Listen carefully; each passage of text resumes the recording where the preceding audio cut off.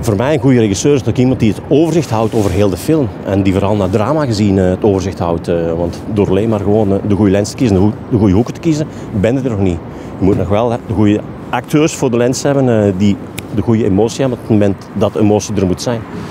En daar is hij heel goed in, daar volgt hij heel goed in op. dus daar ben ik heel blij eigenlijk, hoe hij dat doet. Want dat is natuurlijk een beetje een diepe springen. Uh, ook met Filip in het begin was het een beetje een diepe springen van oké, uh, waar gaan we natuurlijk eindigen. Maar uh, hij houdt het overzicht heel goed. Dus I'm happy man. Alles over de Belgische cinema op cinevox.be